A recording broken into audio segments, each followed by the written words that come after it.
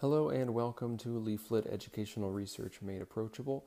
Today we are discussing an article from AERA Open titled The Effects of English Learner Classification on High School Graduation and College Attendance.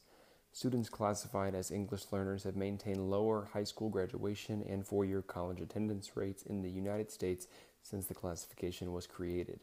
There are more than 4.8 million ELS English learner students in U.S. public schools.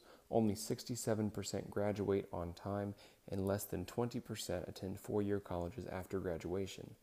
The goal of this research is to identify the causal effects of initial EL classification on high school graduation and college enrollment.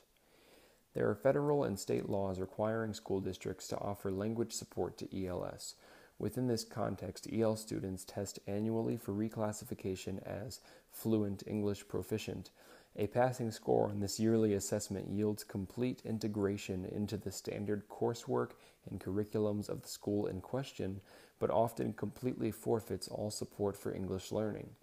Despite this drastic shift, reclassification may be important to the academic outlook of EL students because English language development courses can crowd out other content courses, and classification as an EL student can cause lower expectations for academic achievement from teachers, administrators, and often the student himself. It is important to note here that reclassification assessments are largely formed at the state level and therefore may not align well with the curriculum and instruction students are receiving in the actual classroom. Now, there are two key questions to be addressed by this research. What is the causal impact of initial EL classification on students' high school graduation and college attendance? And what is the causal impact of maintaining EL status after each grade between third and eighth grades on EL students' high school graduation and college attendance? Her findings are largely underwhelming, though the guidance such data can provide for future research efforts is helpful. Johnson, our researcher, found that initial EL classification upon district entry has little impact on four year and five year high school graduation, as well as on college attendance.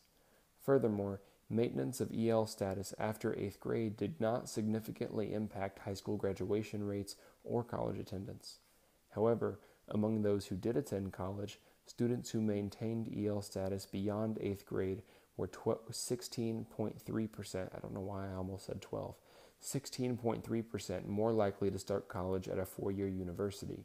They were also 10.6% more likely to enroll full time in their first college term. Some interesting additional findings are worth noting here. Johnson found that ELSs who do not reclassify before the end of elementary school are very unlikely to ever reclassify, and that reclassification in fifth grade may improve the probability of on time graduation. She also found that high school ELSs had slightly lower GPAs on average than RFEPs, but were just as likely to enroll in advanced science courses, the RFEPs being the uh, Proficient English Learner classification earlier. Not, I don't remember exactly what that stands for, but that's what it means. It is also important to note that the study took place in a California school district. California is a unique context in terms of its educational policy and its massive influx of immigrants in comparison to many other states.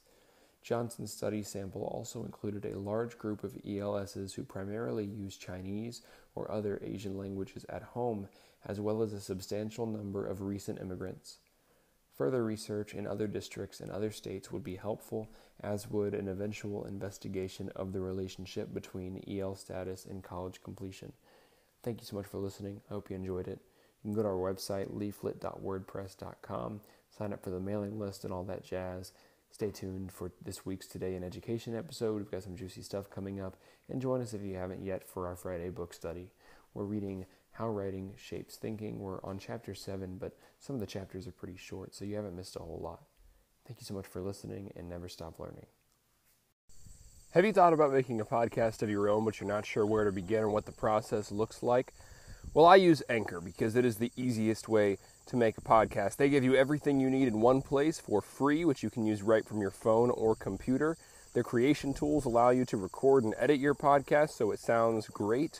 They'll distribute your podcast for you so it can be heard everywhere Spotify, Apple Podcasts, Google Podcasts, and many more. And you can easily make money from your podcast with no minimum listenership. So download the Anchor app or go to anchor.fm to get started.